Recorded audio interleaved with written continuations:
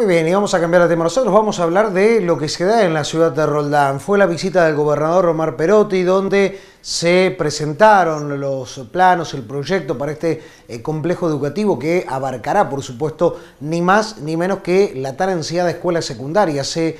bueno, lo comentábamos en la jornada de ayer y, y esperemos de que no sigamos con promesas y que realmente podamos concretar esto que hace tanta falta en la ciudad de Roldán y que tiene que ver con una nueva escuela de nivel secundario para que nuestros chicos puedan educarse como corresponde y en un ambiente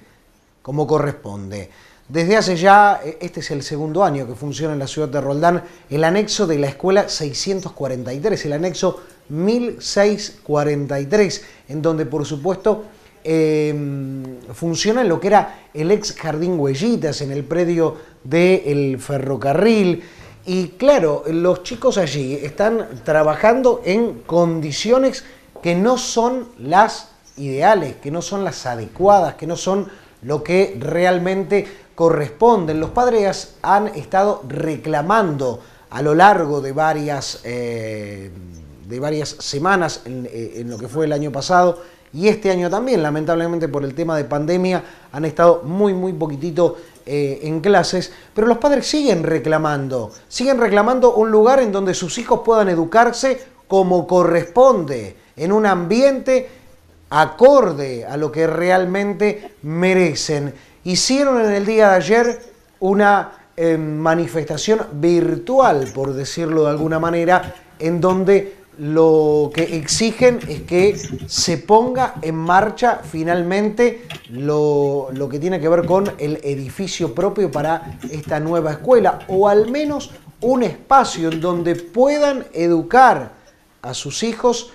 en las condiciones que corresponden. Es por eso que ayer lo hicieron de manera virtual. Ahora convocan para el próximo martes. Martes 18 a partir de las 12 del mediodía proponen juntarse en San Martín y Urquiza para poder pedir por un lugar. ¿Un lugar para qué? Un lugar para que pueda funcionar allí el anexo de la 1643, un lugar en donde los chicos puedan dar clase en las condiciones que realmente corresponden y no como lo están dando. Recordemos, el lugar en donde hoy están funcionando es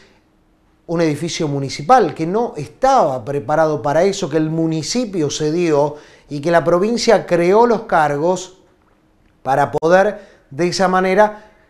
atender la demanda educativa que había en cuanto al nivel secundario. Pero bueno, digamos, es tiempo de que pongamos en marcha las cosas, que pongamos en funcionamiento eh, todas las acciones de gobierno que correspondan y empecemos a buscar un lugar. Eh, lamentablemente lo que se dio con el cambio de gobierno hizo de que lo que se venía hablando y lo que se venía trabajando en materia educativa con la ministra anterior, en este caso con la ministra Cantero, son eh, exponer nuevamente en tema a la ministra y que de allí deba comenzarse eh, a proyectar y a trabajar eh, de otra manera y poner en tema eh, todo lo que venía ocurriendo. Bueno, el pedido sigue en pie el martes a partir de las 12 del mediodía en San Martín y Urquiza la convocatoria de padres